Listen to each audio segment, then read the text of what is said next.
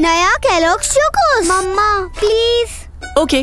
पहले कुछ multigrain please multigrain okay deal wow Chocos यही तो है मल्टीग्रेन